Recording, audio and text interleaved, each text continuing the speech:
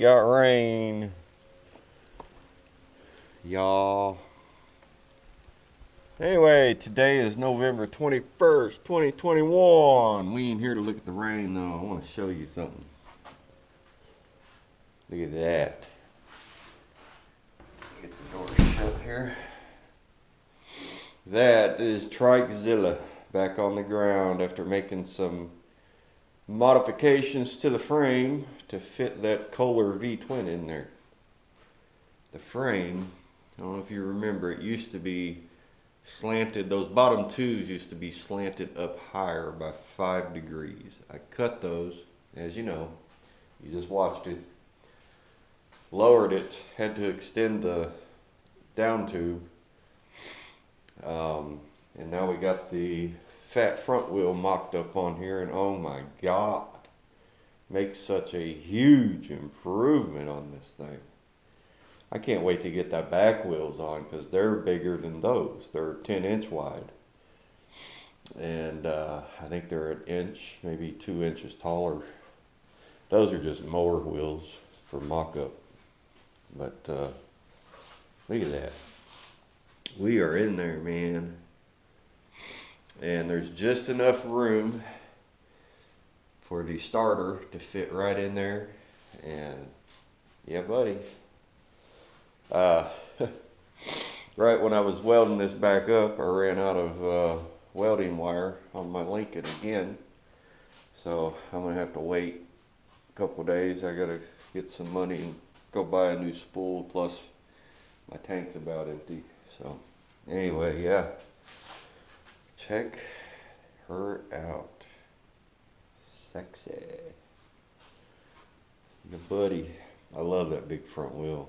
That's just so freaking cool. But yeah, and the engine plate's not welded in yet. I'm not welding that in until I get my um, torque converter because I need to line that up with the rear sprocket so that the chain is riding true and not popping off all the time. But look at that. that I can't believe I built this right here in this shop. it's just so freaking awesome. But anyway, we got some mail call and we're going to get to it. Don't forget to subscribe and hit the bell notification down below this video. And also, anything in the description, links to other channels, please check them out. They're good guys. Alright, see you in a minute.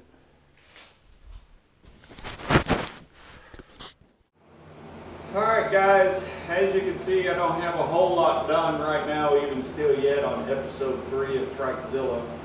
Um, I have been working on it hard though. I got some of these welds are cleaned up now and uh, went back over them again with a weld. I had problems with my welder. It was causing spits and spatters. Uh, two reasons it was doing that is uh, the power company was working on the power grid, changing out a generator or something in my area. And two, my uh, cable lead for my welding wire was real dirty and I cleaned that out with uh, brake cleaner and then sprayed some WD-40 down in it and that took care of that. Uh, but uh, nevertheless, yeah, it's coming along pretty good still yet, don't have the tank on here yet.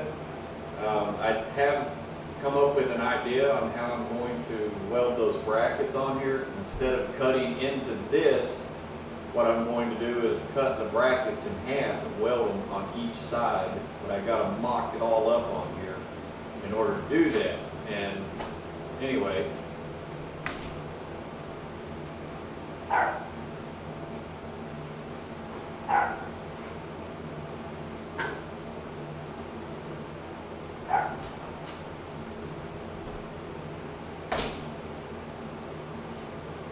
Did that just really happen?